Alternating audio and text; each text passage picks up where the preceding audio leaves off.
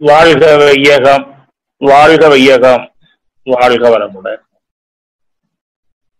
மண்ணின் புலன் வழியே மாநிலர்கள் வாழ்வதினால் எண்ணில்லா துன்பம் ஐயா புலன் செல்லும் வழியேன்னு ஒரு பாடல் அர்த்தத்தை பற்றி எழுதியிருப்பார். இந்த தலைப்பை வச்சுன்னா ஞாபகம் வந்தது? மண்ணின் புலன் வழியே மாண்டிரர்கள் வாழ்வதினால் மாண்டிரர்கள் வாழ்வதினால் எண்ணில்லா துன்பம் ஐயா புலன் செல்லும் வழியே அதை இன்பமா மாற்றுமையா மனவளக்கலை என்ன ஒரு அருமையான தலைப்பை நம்ம முன்னிறுத்தம் கொடுத்துருக்காங்க. கொடுத்திருக்காங்க அந்த வழியில் நம்ம அனைவரையும் சீர் செய்து சிந்தனை உடல்நலத்தை சீர் செய்து உயிர்த்து வழிநடத்திக் கொண்டிருக்கூடிய தந்தை அருள் அந்த வேதாத்திரி மகிழ்ச்சி அவர்களை வணங்கி ஒரு தாய் என்போடு தலைமை பண்பை நம்ம வழிநடத்தக்கூடிய தலைவர் அவர்கள் மிக்க மயிலானதனுடைய வழிகாட்டின்படி அனைத்து இயக்குநர்கள் அறக்கட்டளைகள் மண்டலங்கள் சிறப்பாக செயல்பட்டு வருவதை அறிகிறோம். அதில் சேலம் மண்டலம் ஒரு சிறந்த வேதாத்திரிய பணியில் பயணித்துக் கொண்டிருக்கிறது. அதுக்காக உழைத்துக் கொண்டிருப்பவர்கள் உதவுவர்கள் ஆலோசகர்கள் அனைவரையும் வாழ்த்தி இன்றைய சிந்தனை வந்திருக்கக்கூடியவர்கள் புதுநிலை பேராசிரியர். அது மட்டுமல்ல ஒரு உயர்ந்த வங்கியில பணியாற்றி சிறந்த சமுதாய சேவை செய்தவர்கள் அருத்தந்தனுடைய ஆரம்ப காலத்திலிருந்து அவருடைய அன்பை பெற்றவர்கள். இந்த தமிழ்நாடு முழுவதும் வெளிநாடுகளிலும் அவருடைய மகத்தான மனவளக்கலை சேவை நாம் அறிவோம். அதன்படி நாம் அழைத்த உடனேயே கேட்ட உடனே உடனடியாக ஏற்றுக்கொண்டு நமக்கு இந்த புலன் வழி அறிவு முக்கியமா ஏன்னா வல்லூரும் அதான் உணர்த்துறார். ஓனந்தம் தொட்டியான் ஓரைந்தும் காப்பான் வரணுவிப்புவர் வித்து என்கிறார். அடுத்த அந்த ஐந்து புலன்களை ஆளும் கலை போதித்துங்கிறார். இது எப்படி எல்லாம் முடியுங்கிறத நமக்கு வழி சொல்லி தர்றாங்க. இன்றைய ஐயாவுடைய கருத்துக்களை நான் ஏற்கனவே தினசரி சொன்னதை போல ஒரு புத்தகம் பேனா வைத்துக் கொண்டு அந்த முக்கியமான கருத்துக்களை எழுதி தன்வயப்படுத்திக் கொள்வோம். நம்ம கற்றல். கற்றதை முழுமையாக கடைபிடிப்போம். பிறருக்கு கற்பிப்போம். அதற்கு இன்றைய நிகழ்வு மிக உதவியாக இருக்கும் என்று சொல்லி ஐயா அவர்களை உங்கள் அனைவர் சார்பாகவும் சேலம் மண்டலத்தின் சார்பாகவும் அன்பு கூர்ந்து வருக வருக என்று வரவேற்று உங்களை வாழ்த்து நல்கின்றோம் வாழ்க வளமுடன் வாழ்க வளமுடன் வாழ்க வளமுடன். ஐயா. ஐயா வாழ்க வளமுடன் வாழ்க வளமுடன். பணிவான வணக்கங்கள் வாழ்க வளமுடன். வணக்கம் ஐயா வாழ்க வாழ்க வளமுடன். வாழ்க வையகம் வாழ்க வையகம் வாழ்க வளமுடன். குரு வாழ்க. குருவே துணை. திட்டமிட்டு அறமாற்றி தூய்மை அறிவில் உடலில் பெற்றுவிட்டால் தீரும் வினை புலன்மயக்கம் தாண்டிடலாம். தீய வனிப்பதிவு எல்லாம் விட்டுவிடும். விளைவாக வீடு பெறணும் அறிவை அறிதல் கிட்டும். வினைப்பயனை போக்காமல் வீடடைய விரும்புவதோ பொருந்திடாது. தட்டுங்கள் திறக்கும் என்றார் தனக்குள்ளே பேராற்றல் புதையல் கண்டோர். தக்க வழி அருட்குருவின் தாழ் பணிந்து தவம் பயின்று தனை உணர்தல். வாழ்க வளமுடன் வாழ்க வளமுடன். சசங்கத்தில் இணைந்துள்ள அனைத்து அன்பர்களுக்கும் எனது பணிவான வணக்கங்கள். இன்று புலன்வழி அறிவு என்ற தலைப்பில் நமது ஆசானுடைய கருத்துக்களை சிந்தனைகளை பரிமாறிக்கொள்ளவிருக்கின்றோம். இந்த புலன்கள் என்று சொல்லும்போது அழுத்தம் ஒலி ஒளி சுவை மனம் புலன்கள் என்று குறிப்பிடுவோம். மெய்வாய் கண்மூக்கு செவி என்பது இந்திரியங்கள் ஞான இந்திரியங்கள். ஆக இந்த புலன்கள் மூலமாகத்தான் நாம் பிறரோடு தொடர்பு கொண்டு இன்ப துன்ப அனுபவங்களை பெறுகின்றோம். அந்த அனுபவங்களை பெறுவது உயிர் என்று குறிப்பிடுவோம். உணர்த்துவது உடலாக உள்ளது. இந்த ஐந்து புலன்கள் வழியாகத்தான் நாம் பிறரோடு தொடர்பு கொள்ளும் போது நமது உடலில் இருந்து எது வெளிப்பட்டு தொடர்பு கொள்ளுது என்று பார்த்தோம் அப்படின்னு உடலிலே உள்ள காந்த ஆற்றல். அதாவது ஜீவகாந்த ஆற்றல். ஆக இந்த பூவுலகை நாம் தொடர்பு கொள்கின்றோம் என்றால் எதன் வழியாக?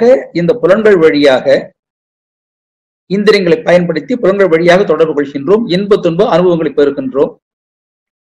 எங்கே அளவு மீறுகின்றதோ எல்லை மீறுகின்றதோ அந்த இடத்திலே இன்பம் துன்பமாக மாறிவிடுகின்றது என்ற உண்மையை அருத்தங்கள் உணர்த்தி இருக்காங்க நாம் உணர்ந்து கொண்டிருக்கின்றோம்.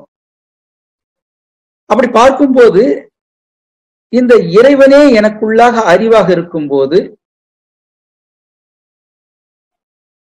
எனக்குள்ளாக ஏன் இந்த காந்த வெளிப்பாட்டிலே ஒரு வரன்முறை அல்லது ஒரு அளவுமுறை மீறி போகக்கூடிய நிலைக்கு ஏன் தள்ளப்படுகின்றோம் என்று பார்த்தோம் என்றால் பழக்க பதிவுகள். அந்த பழக்க பதிவுகளுக்கு நாம் அடிமையா இருக்கும் போது விளக்கம் கிடைத்தால் கூட அதை முழுமையாக பின்பற்ற முடியாத ஒரு மனநிலை சூழ்நிலை. அதை எப்படி மாற்றி அமைத்துக் கொள்ளலாம் என்பதைத்தான் சுவாமி சுட்டி காண்பித்து இதற்கு முன்பாக எவ்வளவோ பாடங்கள் படித்திருந்தால் கூட அனைத்துமே புத்தக அறிவாக மட்டுமே இருந்தது. அது நடைமுறைப்படுத்த முடியாத ஒரு மனநிலை பல காரணங்கள். அதை நடைமுறைப்படுத்த வேண்டும் என்றால் நாம் கேட்ட பெற்ற விளக்கங்களை நாம் வந்து பின்பற்ற வேண்டும். நடைமுறைப்படுத்த வேண்டும் என்றால் அதற்கு இந்த மனம் ஒத்துழைக்க வேண்டும். ஆக புலன் வழியாக அறிவு செலவாய் கொண்டிருக்கும் போது அந்த மயக்கத்திலிருந்து விடுபட வேண்டும் என்றால் அதற்கு ஒரு வழிமுறை. அந்த வழிமுறை தான் இந்த யோக முறைகள். புலனைந்தையும் துணை கொண்டு பூவுலகை அனுபவித்து சோ எல்லாவற்றையும் அனுபவித்த பின்பு நாம் ஒரு முடிவுக்கு வருகின்றோம். ஆக இது வந்து உலகத்தை அனுப்பிற்கு பயன்படுத்திக் கொண்டிருக்கின்றோம் சரி. ஆனால் அந்த புலன்களை இயக்கி பயன்படுத்தும் போதும் அதே அறிவுதான் தவத்திலே நம்ம ஈடுபடுத்திக் கொண்டு யோக வாழும் போதும் அதே அறிவுதான் நமக்கு துணை புரிகின்றது. ஆனால் என்ன வேறுபாடு? முதலில் மயக்க நிலை அதன் பின்பு அறிவு நிலை விழிப்பு நிலை. ஆக புலனைந்தின் துணை கொண்டு தான் இந்த போலோதை அனுபவிக்கின்றோம்.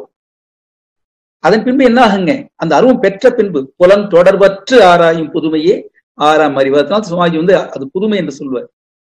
என்ன புதுமை இருக்கு? எந்த அறிவை வைத்துக் கொண்டு எல்லாவற்றையும் அனுபவித்தோமோ? நாம் உணர்ந்த பின்பு நாம் துன்பத்திற்கு ஆளான பின்பு நாம் சிந்திக்கும் போது நமக்குள்ளாக என்ன தெளிவு வருகின்றது? அளவு முறை என்பது வேண்டும்.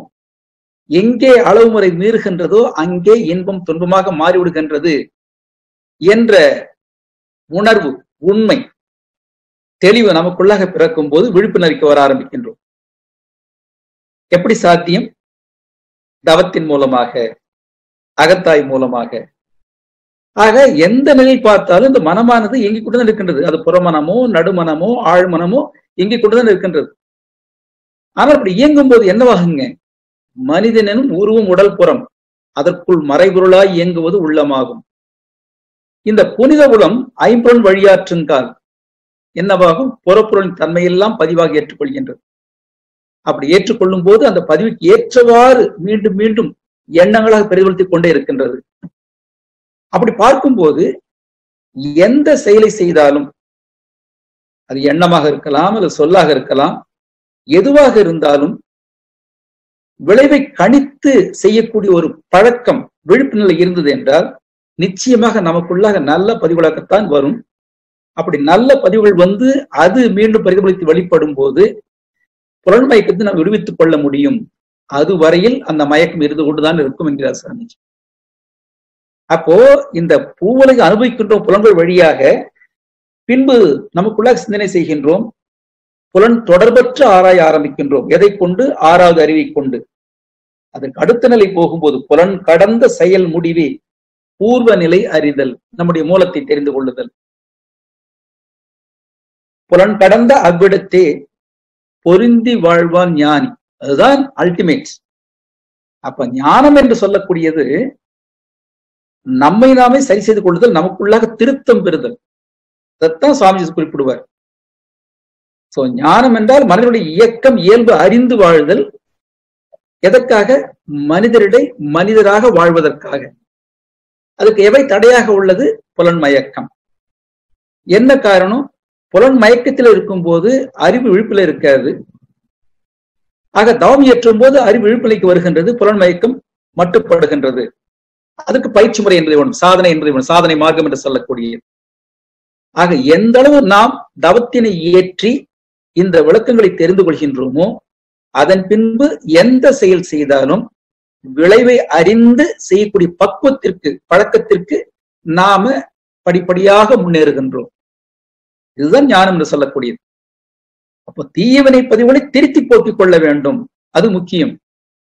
ஆக திருத்தாமல் போக்கிக் கொண்டாலும் நிரந்தர தீர்வு கிடையாது. அப்ப தீயவினை பதிவுகளை திருத்தி போக்கிக் கொள்ளுதல் தான் ஞானம் என்று சொல்லக்கூடியது. மனிதரை மனிதராக அப்பொழுதுதான் வாழ முடியும். இவையெல்லாம் ஒன்று சேர்ந்துதான். ஆக புலன் வழியே அறிவு சென்று கொண்டே இருக்கும்போது மயக்க நிலை. அதை மீண்டும் அகம் நோக்கி திருப்பி புலன்கள் எதனால் இயங்குகின்றன எப்படி இயங்குகின்றன எது வெளிப்படுகின்றன சொல்லி பார்க்கும்போது படிப்படியாக நாம் உண்மை உணர்வுக்கு திரும்புகின்றோம்.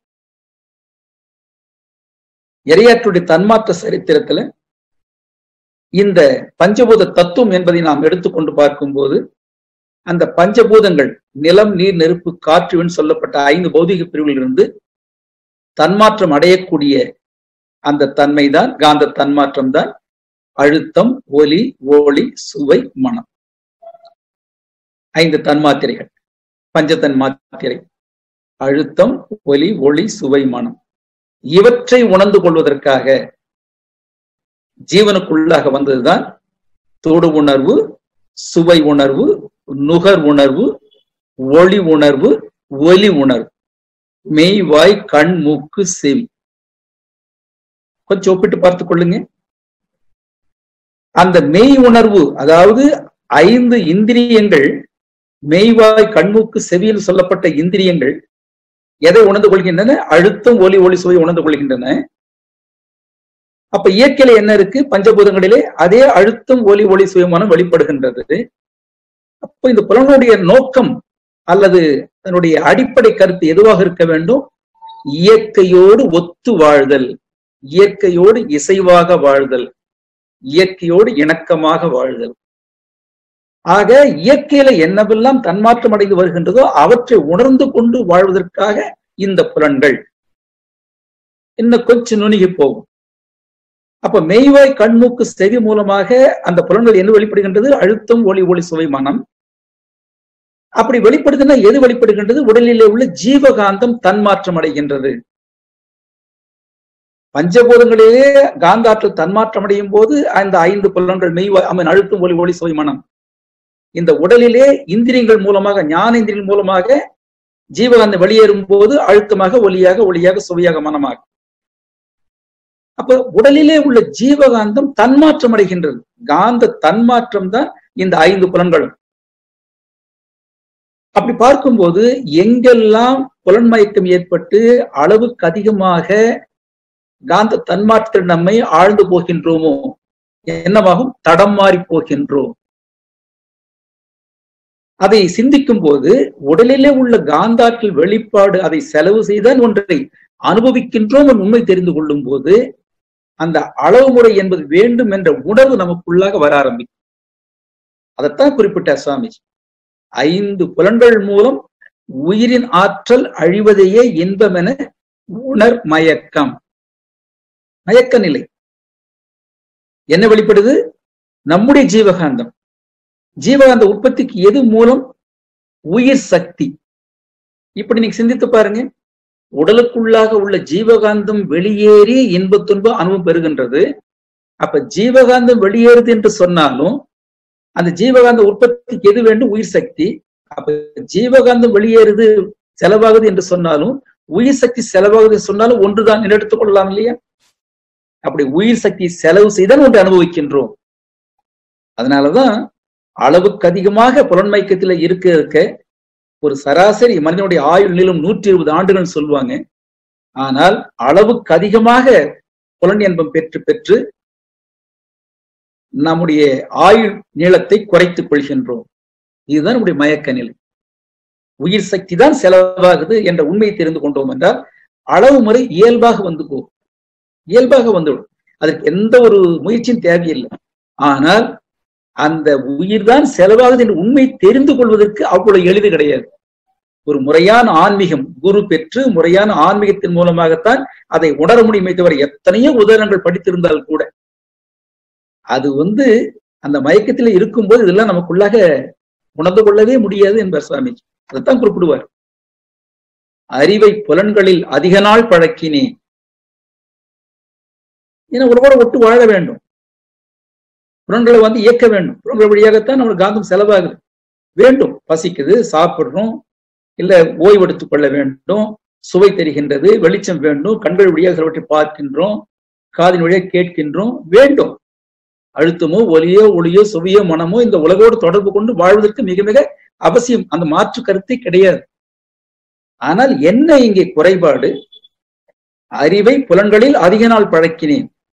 அதன் பலன் புலன்கள் அறிவை வென்றன. இதுதான் இங்கே குறைபாடு. எப்பொழுது புலன்கள் அறிவை வெல்கின்றதோ என்னவாகும்? அறிவு மட்டுப்படுகின்றது மழுங்கி விடுகின்றது.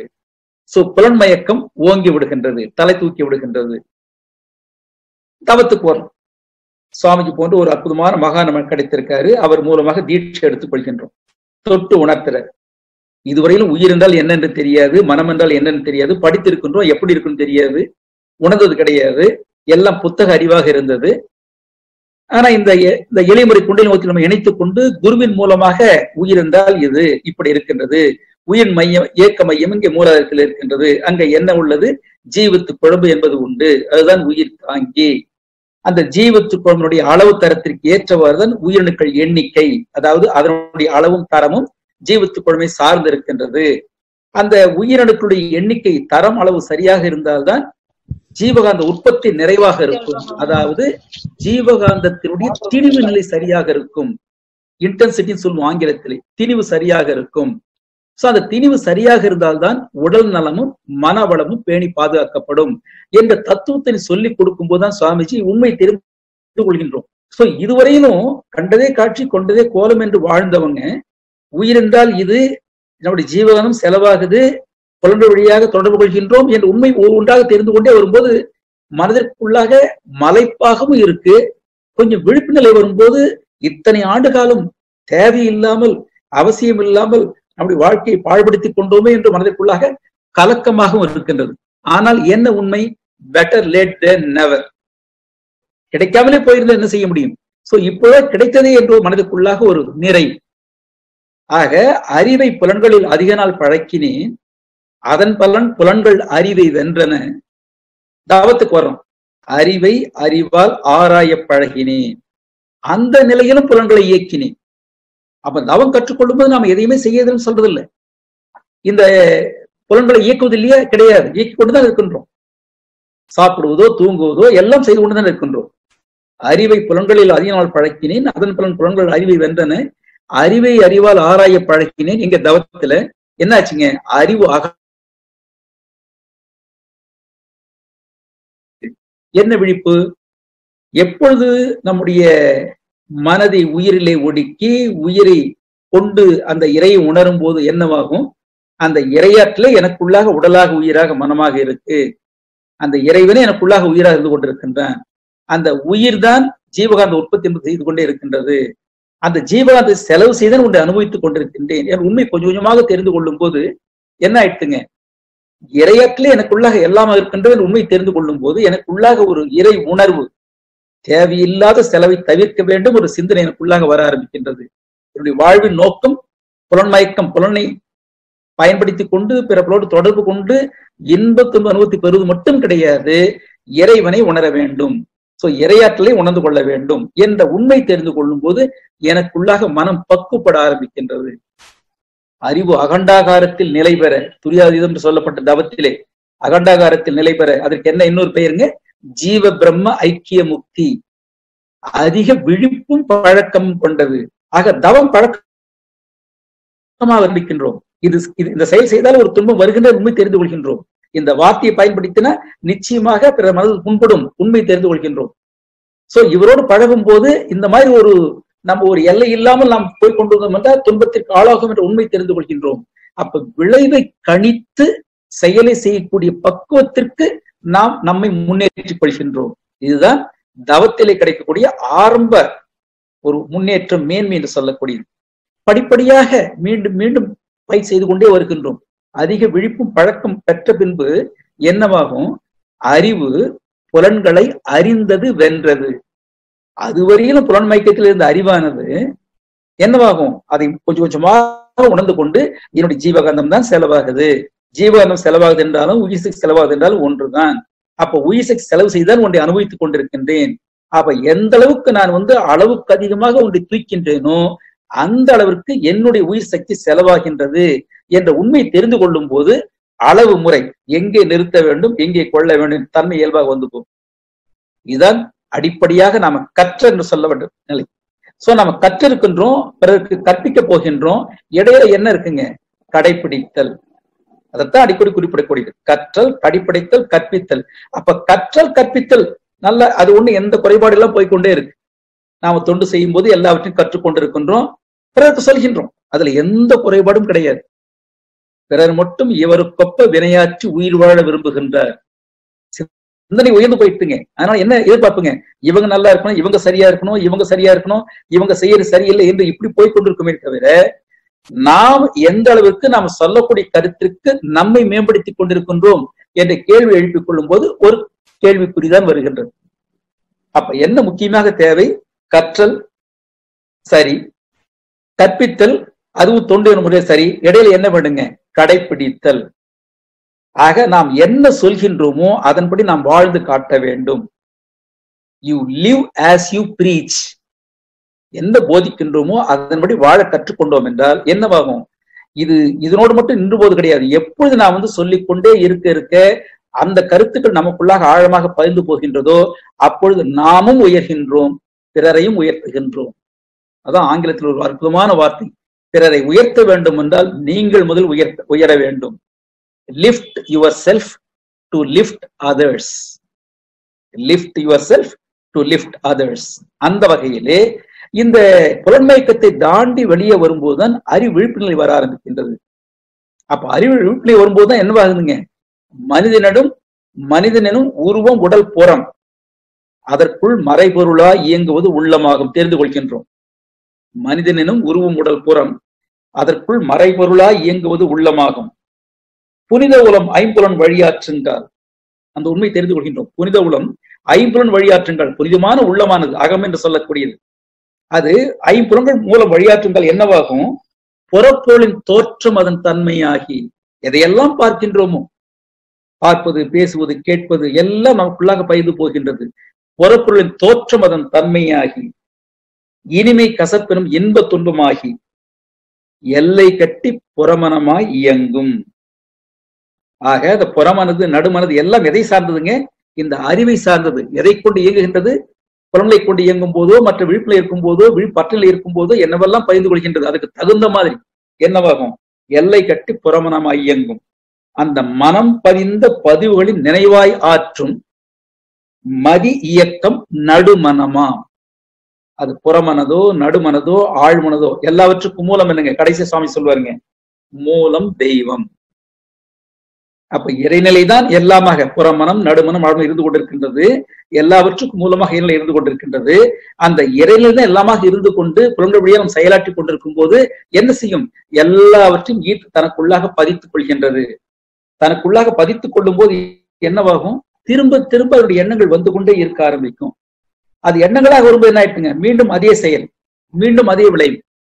ஆக இந்த நிலையில வரும்போது எப்பொழுது அறிவு அகண்டாகாரத்தில் நிலை பெற்று அதிக விழிப்பும் பழக்கம் கொள்கின்றதோ அப்ப என்னவாகும்? அறிவு புலன்களை அறிந்து வென்று விடுகின்றது. அமைதி என்பது அங்குதான் கிடைக்க ஆரம்பிக்கும். அதனாலதான் அந்த ஒரு மௌன காலத்துல நமக்கு ஒரு வார்த்தை குறிப்பிடுவாங்க. நீங்க வந்து மௌனத்துல இருக்கீங்க அப்படின்னா அந்த அறிவு வந்து அதற்கு மௌனம் தர வேண்டும் என்று சொல்லுவாங்க அந்த அறிவிற்கு ஓய்வழி என்று சொல்லக்கூடியது. அப்ப அந்த அறிவிற்கு ஓய்வளிக்கும் போது அதாவது உண்மையான மௌனம் என்று சொல்லக்கூடியது ஓய்வு என்று சொல்லக்கூடியது. அப்ப அந்த அறிவிற்கு ஓய்வு எப்ப கிடைக்கும்? அந்த அறிவிற்கு மூலம் எது? இறைநிலை ஏன்னா இறைநிலையே நமக்குள்ளாக அறிவாக இருக்கு. அப்ப அந்த அறிவைக்கு நாம் ஓய்வு தர வேண்டும் என்றால் எதற் எது அதனுடைய மூலமோ அதிலே ஒடுக்கும் போதுதான் அதற்கு முழுமையான ஓய்வு கிடைக்கும். அந்த ஓய்வின் மூலமாக அது தன் ஆற்றலை பெருக்கிக் கொள்ளும். அப்படி ஆற்றலை பெருக்கிக் கொள்ளும் போது இயல்பாகவே அதற்குள்ளாக எல்லாவற்றையும் உணர்ந்து தெரிந்து பழக்கூடிய பக்கம் இயல்பாக வந்து போகும். அதனாலதான் சொன்ன சாமி அறிவிற்கு ஓய்வழி அதுவே உன் ஓய்வாகும். எப்படிங்க? அறிவிற்கு ஓய்வழி அதுவே உன் ஓய்வாகும். அறிவிற்கு ஓய்வினால் ஆற்றல் பெருகிவிடும். அப்பதான் இந்த விழிப்பு நிலை அப்ப எல்லாவற்றையும் கற்றுக்கொண்ட பின்பு கூட நாம் விழிப்பு இல்லாமல் வாழ்ந்து கொண்டிருந்தால் எந்த பயன் கிடையாது. ஆக அந்த அறிவிற்கு ஓய்வு தருவது என்னவாகும்? ஆற்றல் பெருகிவிடும். அறிவிற்கு அடித்தளம் அருள்நிலை வெளி தெய்வம்.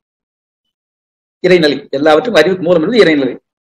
அறிவிற்கு தெளிவு நினைவு ஒன்றேதான் முழு ஓய்வு. அதாவது அறிவிற்கு வெளி நினைவு.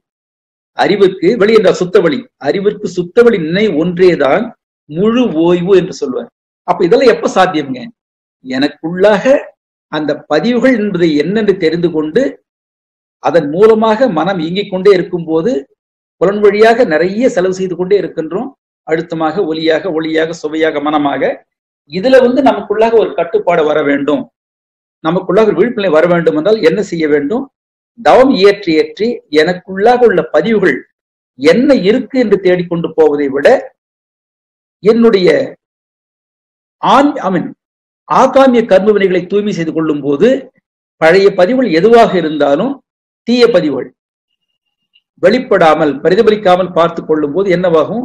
மேல் பதிவு என்ற முறையிலே நல்ல பதிவு நமக்குள்ளாக விழ விழ பழைய பதிவுகள் தீய பதிவு எதுவாக இருந்தாலும் வெளிப்படாமல் பிரதிபலிக்காமல் பார்த்துக் கொள்கின்றோம். ஏனெனில் இந்த நீர் நிறைந்த பாண்டத்தில் எப்படி எப்படி காற்று ஏறாதோ ஒரு பாண்டத்தில் ஒரு பத்த பாத்திரத்தில் தண்ணீர் நிரப்பி இருக்கும் போது எப்படி காற்று கூட உள்ளே நுழையாதோ அதுபோல இந்த உடலுக்குள்ளாக இந்த மெய்ப்பொருளை நிரப்பி விட்டால் நீ நிறைந்த பாண்டத்தில் காற்றேறாது நித்தியமா மெய்ப்பொருளால் நிறைந்த உள்ளம். என்னவாகும்? இந்த ஊரலக பொருள் கவர்ச்சி எதுவும் உள்ள வரவே வராது. அப்ப இதெல்லாம் எப்படி சாத்தியம்ங்க? சாதனை. நாம பயிர் செய்து கொண்டிருந்தால்தான் முடியும். அதனால சுவாமி சொல்லக்கூடிய இது வந்து போதனை மார்க்கம் கிடையாது. இது சாதனை மார்க்கம். கற்றுக்கொண்டோம். கற்றுக்கொண்டதை கடைபிடிக்க வேண்டும் யார் கையில இருக்குங்க? நம்ம கையில தான் இருக்கு. அப்போ அந்த நித்தம் நித்தம் உயிரோடு இயங்கும் மட்டும் இதை பழகிக்கொண்டே இருக்க என்னவாகுங்க? படிப்படியாக நாம் தெளிவு பெறுகின்றோம். அப்படி தெளிவு பெறும் என்னவாகும்? மண் கடந்து விண் கடந்து வெளி சுத்த வெளி கண்டால். மண் கடந்து விண் கடந்து வெளி காண வேண்டும். என்ன எப்ப காண முடியுங்க? புலன்மயக்கத்து விடுபட்டால் தான் காண முடியும். அப்போ புலன் வழியாக அறிவு செலவாகாமல் அதை முறைப்படுத்திக் கொள்ளும் போது என்னவாகும்? மண் கடந்து விண் கடந்து வெளி காணக்கூடிய பக்குவம் நமக்குள்ளாக வரும். அப்படி மண் கடந்து விண் கடந்து வெளி காணும் போது என்னவாகும்? மும்மலம் ஒழிந்த காட்சி அதே மாதவமாம் அற்புதமான வரிகள் சுவாமிஜியுடைய மண் கடந்து விண் கடந்து வெளி கண்டால். மும்மலம் ஒழிந்த காட்சி அதே மாதவமா. அப்ப தவத்தின் மூலமாகத்தான் பெற முடியும். அதனால்தான் சுவாமிஜி வலியுறுத்தி சொன்னார். அகத்தவத்தில் என் மனதை உயிரின் மீது வைத்தேன். அப்பதான் அலைவரி குறைய ஆரம்பிக்கும்.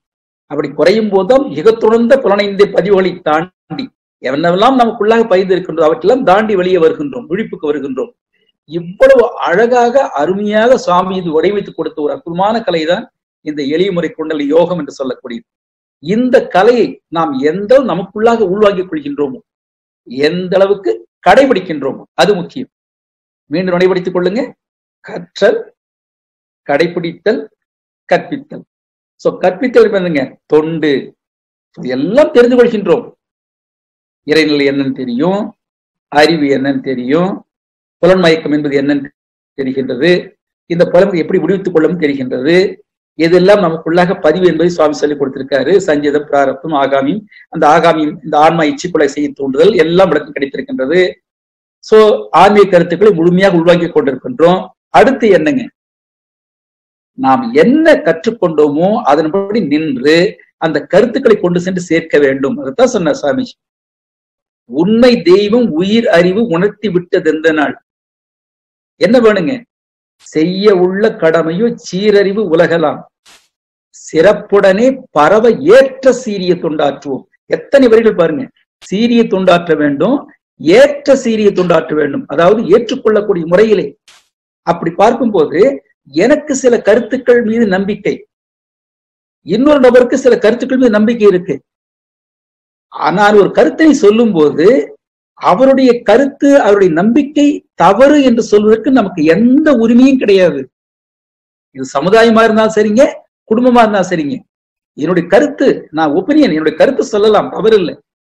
ஆனால் சொல்லக்கூடிய கருத்துக்கள் அப்படியே பின்பற்றப்பட வேண்டும் என்று நினைக்கிறோம் பாருங்க. அங்கேதான் நமக்கு துன்பத்திற்கு ஆளாகின்றோம். ஆக ஒவ்வொருக்குள்ள ஒரு நம்பிக்கை என்பது உண்டு. பிற நம்பிக்கை தவறு என்று சொல்வதற்கு யாருக்குமே உரிமை கிடையாது. இந்த விளக்கம் நமக்குள்ளாக வர வேண்டும். அப்பொழுதுதான் நாம் பிறர் மனதை புண்படுத்த மாட்டோம். அதைத்தான் சொன்னார் முதலே சொன்ன சுவாமி சிந்தனையில் ஓரளவு உயர்ந்தோரெல்லாம் சீர்திருத்தம் உலகினிலே மலரவென்று எந்த ஒரு அளவேனும் நினைக்கின்றார். உண்மைதான். இந்த உலகம் இதுல சமுதாயம் சரியில்லை அரசியல் சரியில்லை பொருளாதாரம் சரியில்லை. ரைட் சரியில்லை. ரைட் நாம என்ன செய்தோம்? அங்கேதான் நிற்கிறோம் நாம. சிந்தனையில் ஓரளவு உயர்ந்தவரெல்லாம் சீர்திருத்தம் உலகினிலே மலரவென்று எந்த ஒரு அளவில் நினைக்கின்றார்? எனினும் இவர் போக்கை நோக்க விந்தையே. அற்புதமான வார்த்தை சுவாமிஜி. என்ன விந்தைங்க? பிறர் மட்டும் இவருக்கு ஒப்ப வினையாற்றி உயிர் வாழ விரும்புகின்றார்? அதாவது மத்தவங்களும் இப்படி நடக்கணும் அப்படி இருக்கணும் இப்படி இருக்கணும்னு சொல்லி கூட்டுக்கவே தவிர நாம அதற்கு எந்த அளவுக்கு நம்மை மாற்றி கொண்டிருக்கின்றோம் என்ற கேள்வி கேட்டால் கேள்விக்குறியாகத்தான் இருக்கின்றது. அதைத்தான் குறிப்பிட்டார். ஆக யோகம் என்று சொல்லக்கூடியது யாருக்குங்க? தனக்கு.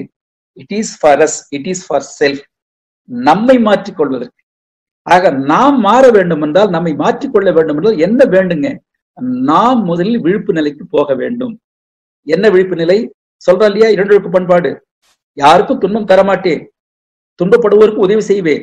அப்ப துன்பப்படக்கூடாது என்று சொல்லும்போது அந்த துன்பம் தரக்கூடாதுன்னு சொல்லக்கூடிய விழிப்பு எப்போ வருங்க? முதலில் நான் எனக்குள்ளாக என்னை பற்றி உணர்ந்து கொண்டதான் வரும். அதனால்தான் self realisation is nothing but realisation of God so தன்னை உணர்தல் தான் இறைவனை உணர்வு போல என்பார். அப்ப இறைவனை உணர வேண்டும் என்றால் எங்க தொடங்க வேண்டும்? என்னிடம் தொடங்க வேண்டும். அப்ப எங்கிட்ட எப்ப தொடங்குங்க? புலன்மைக்கு தன்னை விடுவித்துக் கொண்டுதான் தொடங்கும். அதனாலதான் சொன்னாங்க. சோ புலன்மைக்கு சொல்லும்போது பொருந்தி வாழக்கூடிய ஞானிய நிலை எப்போ வருங்க? புலனைந்தின் துணை கொண்டு பூவுலகை அனுபவித்து எல்லாவற்றையும் அனுபவித்த பின்பு அந்த விழிப்புல வருது பாருங்க. புலன் தொடர்பற்ற ஆராயும் புதுமையே ஆரா அதனாலதான் புதுமை சொன்னார் சாமிஜி. எல்லாவற்றையும் அனுபவித்துக் கொண்டிருக்கின்றோம். பின்பு படிப்படியாக தெரிந்து வரும்போது நினைக்கின்றோம் ஓஹோ இதெல்லாம் இறை மூலமாக வந்தது. நான் செலவு செய்யறேன்னா இறை மூலமாக என்னுடைய உயிர் மூலமாக வந்த உயிரை செலவு செய்ய அனுபவிக்கிறேன் உண்மை தெரிந்து கொள்ளும் போது படிப்படியாக எனக்குள்ளாக மாற்றத்தை நோக்கி போகின்றேன். அந்த மாற்றம் எனக்குள்ளாக நிரந்தரமாக இருக்கும் போதுதான் நான் பிறருக்கு தொண்டு செய்யும் போது முழுமையாக செய்ய முடியும். இதற்குத்தான் ஒரு உதாரணம் சொல்லுவோம் ஒரு வியாபாரம் செய்யறோம் ஒரு வியாபாரம் செய்யும் போது பாத்தீங்கன்னா வருடா வருடம் வரக்கூடிய லாபம் வந்து ஒரே மாதிரி இருக்காது. ஏற்றமும் இருக்காது இறக்கமும் இருக்க ஆரம்பிக்கும். ஒரு வருடம் ஒரு லட்சம் வரும் ஒரு வருடம் ஒன்றரை லட்சம் வரும் அப்புறம் ரெண்டு லட்சம் வரும் திடீர்னு லாஸ் ஆக ஆரம்பிக்கும் ஒரு லட்சத்தை வந்து குறைய ஆரம்பிக்கும் இல்ல நமக்கு வந்து நட்டமும் ஏற்பட ஆகலாம் ஆக அந்த கிராஃப் பார்த்தீங்கன்னா மேல கீழே போயிட்டு வந்து கொண்டே இருக்கும். எதுங்க? அந்த வியாபாரம். ஆனால் ஞானம் என்பது அப்படி இருக்கக்கூடாது. ஞானத்திற்கு ஒரு கிராஃப் போட்டீங்க அப்படின்னா மேல் நோக்கித்தான் போய்கொண்டே இருக்க வேண்டும். இதுல வந்து ஒரு ஆறு மாசம் நல்லவனா இருக்கிறது. ஒரு ஒரு வாரம் கெட்டவனா போறது. மறுபடியும் நல்லவனா மாறது கிடையாது. ஒரே ஒரு வழிதான். மேன்மை மட்டும்தான். சோ அந்த மேன்மை என்பது எப்படி வரும் என்றால் நாம் கற்ற இந்த கலையை முழுமையாக உள்வாங்கி கொண்டு சிந்திக்கும் போதுதான் வரும். அதற்குத்தான் பயிற்சி முறை. ஆக அந்த புலன்மைக்கு விடுபட வேண்டும் என்றால் நம்மை பற்றி தெரிந்து கொள்ள வேண்டும். நம்முடைய மூலத்தை பற்றி தெரிந்து கொள்ள வேண்டும். அப்ப இறையாற்றில் எல்லா மக்கள் உண்மை தெரிந்து கொள்கின்றோம். அப்ப நமக்குள்ளாக இயல்பாகவே ஒரு அன்பு கருணை மலர ஆரம்பிக்கின்றது. எப்ப வருங்க? அத்துவது ஆதிபர் அண்டத்தோடு ஆசைகின்ற அறிவியக்க உடலை வைத்து ஒத்து ஒத்து பார்த்து விட்டேன். என்ன சொல்லுங்க அண்டத்தில் கடவுள் என அழைக்கப்படும் பிண்டத்தில் உயிரின பேசப்படுகின்ற. அற்புதமான வார்த்தைகள். அப்ப எல்லாமே இரையாற்றல் மூலமாக வந்தது. அப்ப இயற்கையோடு ஒத்து உதவி இணக்கமாக வாழ்வதற்காகத்தான் இந்த புலன்கள். எது? அழுத்தம் ஒலி ஒளி சுவை மனம். எப்பொழுது இயற்கைக்கு மாறாக செயலை செய்கின்றேனோ என்னவாகும்? நிச்சயமாக துன்பத்திற்கு ஆளாகின்றேன். அப்படி துன்பத்திற்கு ஆளாவது நான் மட்டும் கிடையாது என்னை சுற்றி உள்ள குடும்பம் சமுதாயத்தையும் துன்பத்திற்கு ஆளாக்குகின்றேன். இந்த உணர்வு நமக்குள்ளாக வர வேண்டும். இதுதான் ஞானத்துடைய உச்சம் என்று சொல்லக்கூடியது. அதற்குத்தான் சுவாமிஜி வடிவமைத்து கொடுத்திருக்கின்றார். படிப்படியாக நம்மை பண்படுத்தி படிப்படியாக எரியாற்று நமக்குள்ளாக உணர வைத்து என்ன வழிமுறைகள் என்பதை உணர வைத்து எந்த அளவு நீங்கள் உங்களை மேம்படுத்திக் கொள்கின்றீர்களோ அந்த அளவுக்கு நீங்கள் தொண்டு செய்வதற்கு உங்களை தயாரித்துக் கொள்ள முடியும். என்ற நிலையைத்தான் நம்மை மேம்படுத்தியிருக்கின்ற அப்படிப்பட்ட ஒரு அற்புதமான குருவை நாம் அடைந்திருக்கின்றோம் என்று கூறி இந்த வாய்ப்புக்கு நன்றி கூறி அனைத்து நல்ல குணங்களுக்கும் மீண்டும் என்னுடைய பணிவான வணக்கத்தின் நன்றி கூறி நீங்கள் அனைவரும் உடல் நலம் நீளாயுள் நிறை செல்வம் உயர் புகழ் மெய்ஞானம் ஓங்கி வாழ்க வளமுடன் வாழ்க வளமுடன் வாழ்க வளமுடன் என்று கூறி நிறைவு செய்து வாழ்க வளமுடன். வாழ்க வளமுடன். உலக மக்கள் எதை தெரிந்து கொள்ள வேண்டுமோ அதுல முக்கியமான தத்துவம் நீங்க இப்ப கூறின அற்புதமான எல்லா மகான்களும் அதைத்தான். மகாத்மா காந்தி கூட புலன்கட்டுப்பாடு தான் பிரம்மச்சரியம். ஐம்புலங்களை ஆடுறவங்க ஐயப்பன். எப்படி அந்த புலன் மயக்கங்கிறத இதுதான் அற்புதமான விளக்கம். இது எல்லா பேராசிரியர்கள் முதல்ல இதை நம்ம கொஞ்சம் ஆழமா சிந்திக்கணும். இந்த உரை நமக்கு பேராசிரியருக்கு வழங்கியது போலவே நான் கருதுகிறேன். அடிக்கடி ரெக்கார்ட் பண்ணி போடுறோம் மறுபடியும் கீழே. இதை தான் சொல்லணும். ஏன்னா நிறைய பேர் ஐந்து புலன்கள் மூலம் உயிரின் ஆற்றல் அழிவதை இன்பமனக்குள் மயக்கம் தெரியாம இருக்காங்க. ஆனால் இந்த புலன் மயக்கத்தில் விடுபட ஆகணதிரி தவத்தையும் வலுவா செய்யணும். அதை நம்ம வலியுறுத்தணும். நெத்தியில் உச்சியில் நாவமா இரு. விட்டு விட்டு பாருங்கிற மாதிரி இன்றைக்கு நம்ம ரொம்ப ஒரு சிந்தனைங்கிறத விட ஒரு பொறுப்பை வந்துதான் நான் கருதுறேன். இந்த உரை ஒரு சிந்தனை தூண்டியதுங்கிறத விட எல்லாருக்கும் ஒரு பொறுப்புணர்வு வந்ததாக என் மனதில் பட்டது. நீங்க கேட்ட ஒவ்வொருத்துக்கும் ஒரு மாதிரி இருக்கும். அதனால உண்மையிலே ஐயா அவர்கள் நீண்ட கால அனுபவம் தெளிந்த நீரோடை போல வேதாத்திரியத்தை கவனிப்பவர்கள் ரொம்ப மகிழ்ச்சியா அவர் எப்பவுமே அவர் அன்பு நாமக்கல் செயலாளர்லாம் ரொம்ப அன்பான உள்ள கொண்டவர்கள். அதனால அப்படிப்பட்ட அவர்கள் இன்றைக்கு நம்ம வருகை தந்ததில் மகிழ்ச்சியும் அடைகிறோம் அதனால அவர் தொண்டு தொழில் குடும்பம் அனைத்தும் மனவளக்கலை சேவை மேலும் மேலும் விரிந்தவங்க வாழ்த்துகிறோம். கொண்டாட்டி இன்பங்காணும் சொல்லி கருத்துக்கள் வழங்குறவங்க தங்களுடைய மைக் ஆன் பண்ணி தாராளமா வந்து கருத்துக்களை சொல்லுங்க. அவர்கிட்ட கட்டுக்க கட்டு கட்டுக்கிற கடைபிடிக்கிறது எவ்வளவுன்னு சொல்லுங்க. வாழ்த்துக்கள். கற்றால் கடைபிடித்தால் கற்பித்தார் வாழ் வளமுடன் சொல்லுங்க. ஐயா வாழ்க்கை வளமுடனுங்கய்யா நான் கல்யாணி கல்யாணி சேலத்துல இருந்து பேசுறேங்க சொல்லுங்க. ஐயா உங்களுடைய புலன்வழி அறிவுங்கிற சிந்தனை வந்து எனக்கு வந்து ஒரு சிறந்த ஒரு கேள்விக்கு வந்து தூண்டுதல். மல பல நாள் வந்து ஒரு மனசுல ஓடிட்டு இருந்த அந்த கொஸ்டினுக்கு வந்து உங்ககிட்ட விடை கிடைக்குங்கிறதுல நான் கேக்குறேங்கய்யா ஐயா. இப்ப வந்து நான் ஒரு சிந்தனை வந்து இதுக்கு முன்னால இப்ப இந்த லாக்டவுன்ல நம்ம டெய்லி சிந்தனை வந்து கேட்டுட்டே இருக்கோம். அதுக்கு முன்னால நம்மளுக்குன்னு ஒரு நான் ஒரு சுய தொழில் செய்யணுங்கிற ஒரு சிந்தனையில நான் என்ன வந்து சிறப்பா உலக உலகத்துல காட்டிக்கணும் அப்படிங்கிறதுக்காக ஒரு எண்ணம் தொடர்ச்சியா அதை பத்தியே தேடுதல் இருந்துட்டு இருந்ததுங்க. இப்ப அந்த சிந்தனைகள் இங்க வந்து நம்மளுடைய மகரிஷினோட சிந்தனைகள் கேட்க கேட்க கேட்க அதை விட இது வந்து இதுக்கான வழிதான் உனக்கு சரியான வழிங்கிற வழியில வந்து அந்த எண்ணங்கள்லாம் அப்படியே மறைய தொடங்கிடுச்சுங்க. இந்த எண்ணம் வந்து தோட போயிடுங்களா? இல்ல வந்து எனக்கு கருவுல வந்து அப்படியே பதிவாகி இன்னும் அது அந்த எண்ணம் நான் நினைச்ச எண்ணம் அதுக்கான விளைவு வந்து மத்தவங்க மூலியமா எனக்கு அது தீர்வா வருமாங்கயா எப்படி வாழ்க வளமுடனுங்க வாழ்க வளமுடனுங்க அருமையான சிந்தனை. எப்படின்னா எப்பொழுது வந்து உங்க மனதிற்குள்ளாக ஏற்கனவே ஒரு கருத்து இருந்து சாமிய ம். கருத்தினை கேட்கும் போது ரெண்டும் ஒப்பிட ஆரம்பித்தீங்களோ அப்ப படிப்படியா என்னவாகும்னா மனது வந்து எது சரியா இருக்கோ அதுக்கு சரியாக பற்றி கொள்ளும் நீங்க உங்க அனுபவத்திலே பார்க்கலாம். இதுக்கு முன்பாக இருந்த குழப்பமா மனநிலை மாறி எதை பின்பற்றலாம்? எது செய்தால் சரியா இருக்கும் என்று மனதுக்குள்ளாக இயல்பாக உங்களால மிக எளிதாக முடிவெடுத்துக் கொள்ளக்கூடிய அளவிற்கு இந்த தவம் உங்களுக்கு உறுதுணையாக அமைந்து போகும். நீங்களே உங்களை அனுபவமாக பார்க்கலாங்க. வாழ்த்துக்கள். கண்டிப்பாங்க. வளமுடன்ங்க ஐயா வணக்கம். வாழ்க வளமுடன். அருள் செல்வி பேசுறேன். வாழ்க வளமுடன். ஐயா ரொம்ப அற்புதமா அதுவும் உழவன் அண்ணா சொன்ன மாதிரி ஒரு பேங்கர் அப்படிங்கிறது உங்க சொற்பொழிவுல பேங்க்ல தான் சொல்லுவோம். அது ஜீரோ கிடையாது பணம் அப்படின்னுட்டு. ஆயிரம் ரூபாய்க்கு பதிலா ஒரு ஜீரோ சேர்த்து போட்டாலும் பத்தாயிரம் ஆயிடும்னு நீங்க ரொம்ப ரத்தின சுருக்கமா பேசின மாதிரி இருந்தது. ஆனா எவ்வளவு செறிவான மகரிஷியோட கவிகள் எல்லாம் சொல்லி ரொம்ப அற்புதமான உரை. இதை பத்தி நான் சொல்றதை விட எங்களுடைய பேங்க்ல வந்து ஜெனரல் மேனேஜரா இருந்து ரிட்டையர் ஆயின வேணுகோபால் சார் இருக்காரு லைன்ல இப்பதான் நம்மளோட ரிட்டையர்மெண்ட்க்கு அப்புறம் எம்எஸ்சி ஜாயின் பண்ணி படிச்சிட்டு இருக்காருங்க சார் எக்ஸலன்ட் ஆமா அதனால சார் கொஞ்சம் ஒரு ஃபீட்பேக் சொல்ல சொல்லி நான் ரெக்வஸ்ட் பண்ணிக்கிறேன். தேங்க்யூ வெரி மச் வாழ்க வளமுடன். வாழ்க வளம்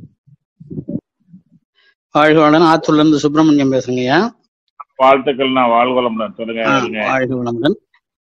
ஐயா இந்த புலன் வழி அறிவிலிருந்து மீண்டு கொள்ளாதவரை இறை உணர்வு கிட்டாது என்பது ரொம்ப தெள்ள தெளிவாக மகரிஷியினுடைய கருத்து கவிதைகள் மூலமாக தெரிவிக்கிறாரு ரொம்ப அதாவது ஒரு தெளிவு ஏற்பட்டுருதுங்க. இதுக்கு நான் வரலாம். விஷயங்கள் எல்லாம் நமக்கு தெரிஞ்சாலும் அதை ரொம்ப தெளிவுபடுத்தி விட்டார் ஐயா. ரொம்ப வாழ்க வளமுடன். இன்னும் பல்லாண்டுகள் சிறப்பாக வாழ இறையருள் உதவட்டுமாக. வாழ்க. ஐயா, நமக்கு நமக்கு பேராசிரியர் பேசுற மாதிரி இருந்து சொன்னேன். ஐயா நன்றிங்கண்ணா. வேணுகோபால் ஐயா பேசலாம். வேணுகோபால் ஐயா பேசலாம். மிக சிறப்பான உரை இந்த உரையை அமைந்தது. நல்ல சிறந்த உதாரணங்கள் அளித்தீர்கள்.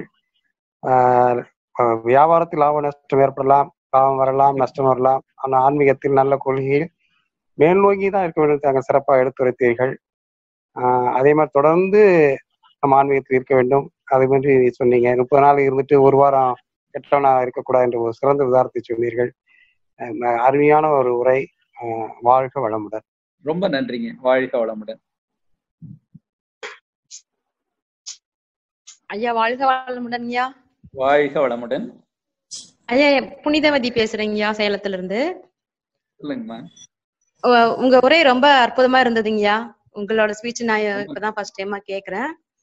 நீங்க. சொன்னீங்கய்யா கற்றலையும் கற்பித்தலையும் தான் நாங்க அதிக நம்ம அதிகமா செஞ்சுட்டு இருக்கோம் கடைபிடித்தல்ன்றது அந்த அளவு இல்லதாங்கய்யா அது நம்ம சூழ்நிலைகளால அப்படி போயிட்டு இருந்ததுங்க ஏதோ நம்ம கடமைக்கு செய்யறோன்ற மாதிரி தான் செஞ்சுக்கிட்டு இருந்ததுங்க இந்த லாக்டவுன் பீரியட்ல பாத்தீங்கன்னா எல்லாருக்குமே அந்த தனிமை கிடைக்குதான்னு சொல்ல முடியாதுங்கய்யா. என்னை பொறுத்த வரைக்கும் நான் தனிமையில தாங்க இருக்கேன். நாங்க ஒரு தூரமான ஒரு திருநெல்வேலி பக்கத்துல இருக்க வேண்டிய சூழ்நிலை இருக்குதுங்க அதனால தனியா இருக்கிறதுனால அந்த கடைபிடித்தலையும் ஓரளவுக்கு இப்ப நல்லாவே செய்ய முடியுதுங்க. அந்த தவம் தற்சோதனை மௌனம் நீங்க சொன்ன மாதிரி இந்த மௌனத்துல தாங்க நம்மள நம்ம நல்லா நேத்து ஐயா சொன்னவங்க நம்ம நினைச்சது நடக்கும் அப்படின்ற மாதிரி நம்ம நம்மளே சொல்லுவோம்.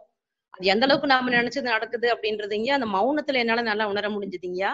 அது அந்த அதை பாத்தீங்கன்னா அது கடைபிடித்தல் என்ற இது பார்த்தோன்னா இந்த லாக்டவுன் பீரியட்ல நம்மளால நல்லா அதையும் செய்ய முடியுதுங்க. ஆஹ் உங்களோட உரை ரொம்ப நல்லா இருந்ததுங்க. வாழ்க வளமுடன்.